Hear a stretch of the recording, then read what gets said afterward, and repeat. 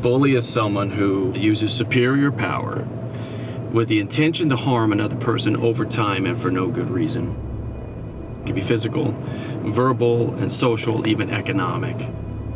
This isn't conflict, this isn't misunderstanding.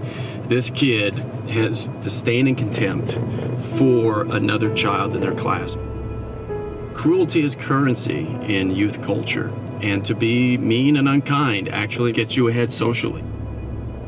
Many targets need some help. They need someone to intervene. We call that person a protector.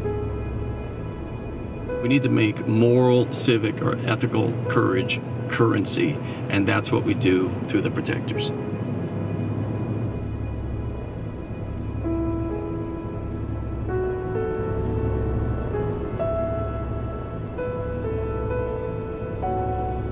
We're on our way to one of the two main high schools here in Hopkins County. Chances are they're going to hear some things that they've never really um, heard before. Some uh, public speakers actually won't speak to high schoolers. They find it extremely intimidating. I think it's kind of fun.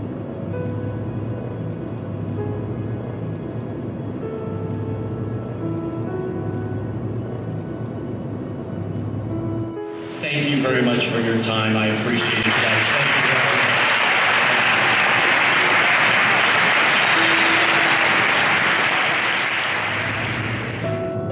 you. There is a real sweetness to it.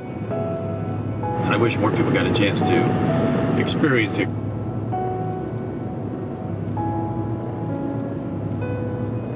We give them the tools they need to be a protector